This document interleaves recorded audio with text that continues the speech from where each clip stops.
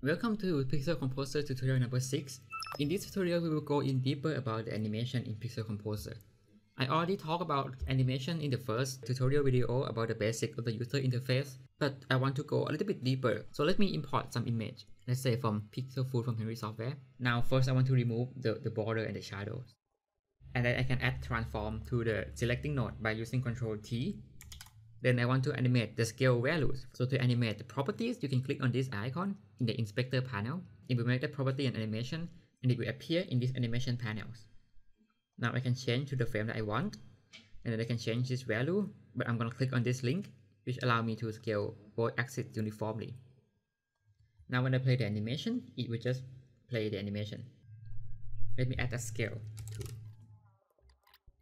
Now that's a very basic of animation. You can use animation to almost every type of properties, but some of them will have different interpolation. Like for example, if you try, try with text, when you try to interpolate like text, it's, it's not gonna create a smooth interpolation for you because it doesn't know how. So it's just gonna gonna cut between each word. But for most type of values, like numbers or colors, you can do animation for those properties. Now when you try to interpolate between colors, it will just use direct interpolation. So maybe the color might not look as pleasing as you want. Like for example, if you want to interpolate between green, let's just green and green and red, it's just gonna give you this uh, sometimes unpleasant colors.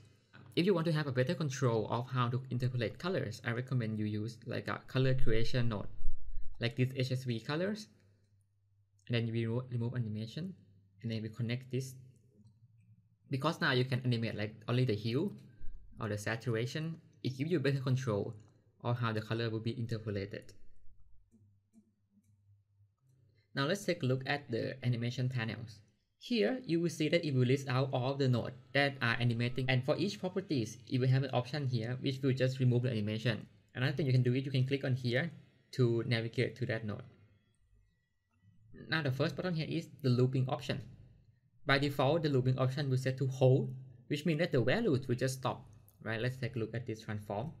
When the timeline go outside of the current keyframe, it's just gonna stop. But if you set it to something something else, like like normal loop here, then the values is gonna loop back. As you can see here, when you're outside of this, right, it's just gonna loop these two keyframe over and over again. So if we set it to like a middle, frame 15 and then we play animation, it's just gonna play animation or loop forever. The next mode is the ping pong, which instead of just looping in the same pattern, it's gonna like reverse the value back, back and forth.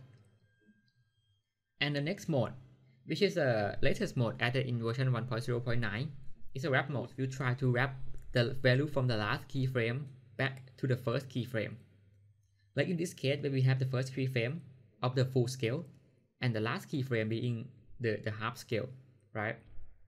Then around at this area, then it will just interpolate the value back to the first frame. So when you try to play here, it's gonna look like ping pong, right?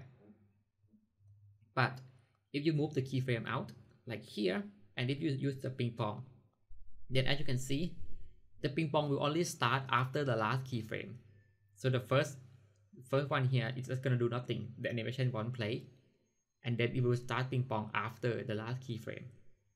But if you set it to wrap, then the value will wrap back from the last frame and then go back to the first frame, including the part before the first frame as well. And this will allow you to play it like the same animation using a different delay, like in this example. Now that's the looping mode.